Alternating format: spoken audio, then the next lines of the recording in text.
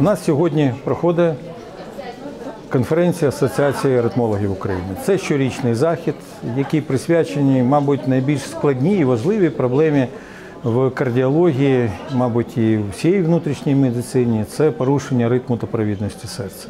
Це пов'язано з тим, що наслідки порушень ритму серця це раптова кардіальна смерть, це інсульти при фібриляції передсердь, це серцева недостатність, яка розгортається, якщо неправильно контролювати ритм. І це погіршення якості життя, погіршення можливостей для кожної людини. І такі конференції, як сьогоднішня, вона призначена для того, щоб ознайомити всіх присутніх і обговорити. Саме ознайомитись зараз можуть всі через систему інтернет, е, через заходи масової інформації. А щоб ми могли поспілкуватися, обговорити, безпосередньо обговорити ті нові рекомендації, які вийшли, які вийшли в Європі, які вийшли в світі, які ми маємо виконувати і у нас в країні згідно наказу Міністерства охорони здоров'я, ми можемо використовувати міжнародні рекомендації. Є у нас і свої настанови, національні рекомендації, які є головними для нас.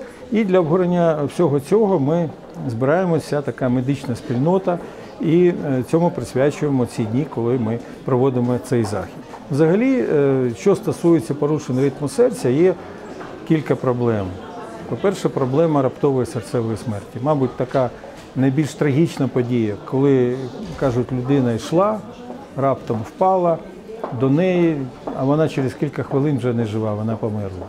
Це катастрофа для людини, це велике горе для всієї сім'ї, для оточення цього чоловіка. Тому е, ми обговорюємо питання, як діагностувати на ранніх таких стадіях те, що може привести до раптової смерті. Що треба робити? Що треба робити з тими пацієнтами, у яких вже була реанімація і вдалося врятувати людину? Мова йде і про сучасні антиритмічні засоби, і про імплантацію і штучних водіїв ритму, і кардіовертерів дефібриляторів, які саме і рятують життя пацієнтів. Інша проблема проблема фібриляції передсердя. Раніше казали могатлива аритмія. Це аритмія, яка часто приводить до мозкових інсультів чи емболій в інших органах і системах е, організму людини. І е, частіше всього так анатомія е, збудована, що ці тромби вони летять до головного мозку.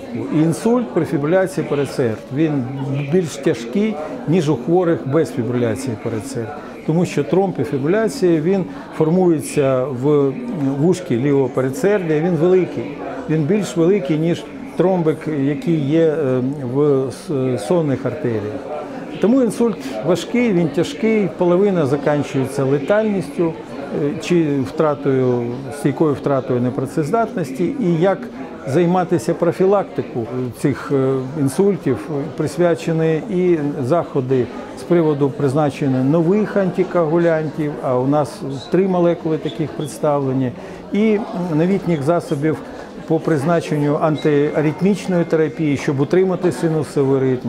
А є нові методи, нові можливості. Це радіочастотні абляції, які все ширше входять в наше життя. Вже з'явилась не тільки радіочастотна абляція, з'явилась кріоабляція, код- коли йде заморозка е, легеневих вен. Тому всі ці питання ми обговорюємо, і ви бачите, це проходить дуже якісно і має, е, ми будемо вважати, будемо, будемо мати такі великі позитивні наслідки для е, наших громадян.